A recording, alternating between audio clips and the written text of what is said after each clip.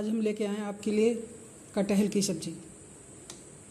जो कि बड़े और बच्चों सबको पसंद है।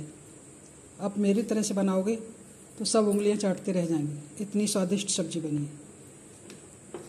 कटहल की लाजवाब सब्ज़ी। आज हम बना रहे हैं कटहल की सब्ज़ी। उसके लिए मैंने ये आधा किलो कटहल लिया है। ये मैंने काट लिया, मैं इसके बीज निकाल दूँगी। क्योंकि इसके बीज पके हुए हैं तो इनको मैं निकाल के अलग कर दूँगी। क्योंकि मुँह में आ जाते हैं, दांत के नीचे आ जाते हैं तो अच्छा नहीं लगता है। अब मैं ये कटहल साफ़ करके फिर सब्ज़ी बनाती हूँ।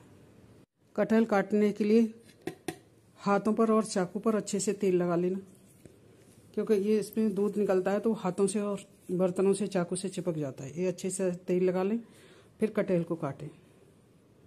मैंने ये कटहल को काट लिया है। आप जब भी कटहल लें तो ध्यान रखें कि कटहल कच्चा हो। मेरा ये कटहल थोड़ा सा पका हुआ सा था हल्के पीले मन पे है। आप एकदम सफ़ेद वाला कटहल लें, जिसके बीज कच्चे हों। मैंने ये बीज निकाल लिए थे। बीज को भी मैंने छील लिया है। इस तरह से इसके सारे छिलके निकाल दिए हैं। ये छिलके निकले हैं इसके। क्योंकि ये छिलके दांतों के नीचे आ जाते हैं तो परेशानी देते हैं।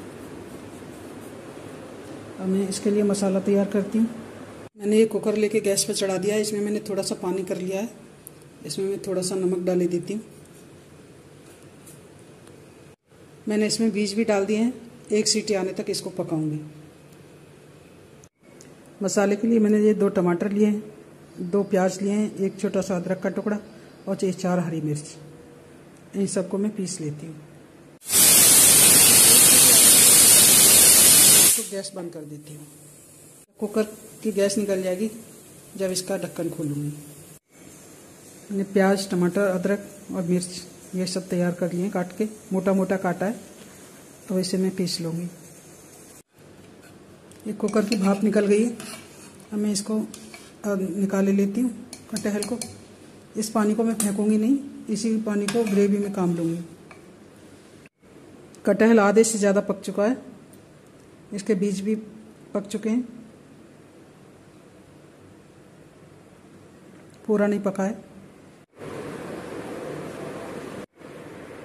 मैंने गैस ऑन करके कढ़ाई चढ़ा दी थी।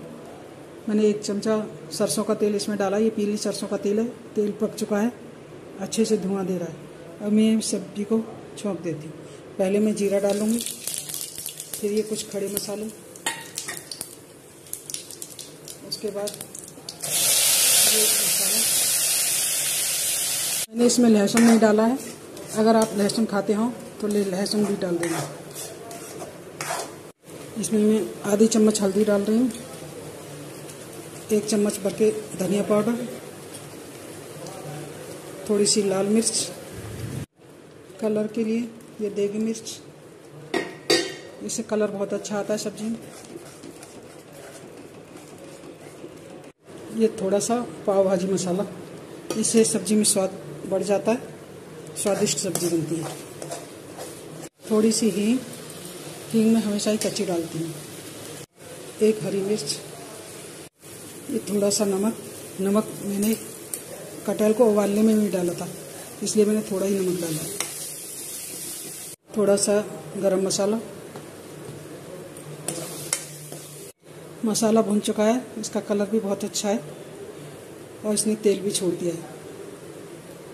अब मैं इसमें कटहल डाल दूँगी।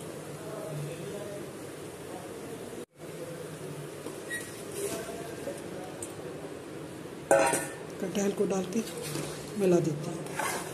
जिसमें पानी में कटहल उबाला था, उसी पानी को मैं इस कटहल में ग्रेवी के लिए डाला देती हूँ। कटहल को हम 10 मिनट के लिए ढक के पकाएँगे। कटहल की सब्ज़ी बन के तैयार है।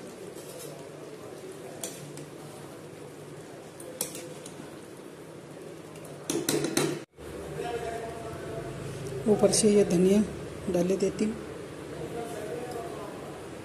धनिए से सब्ज़ी का स्वाद और भी बढ़ जाता है। ये पूड़ी पराठे, रोटी या चावल किसी के भी साथ खा सकते हैं, सबके साथ अच्छा लगता है। बहुत ही स्वादिष्ट बनता है।